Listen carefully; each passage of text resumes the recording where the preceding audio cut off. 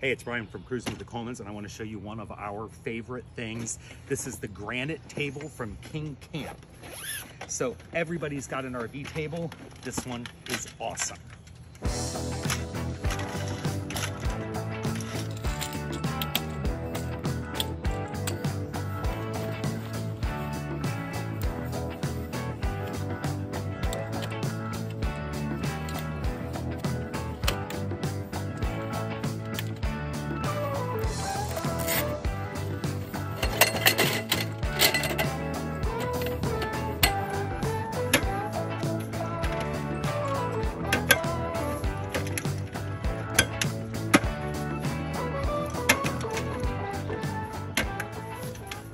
There you go. It's as easy as that.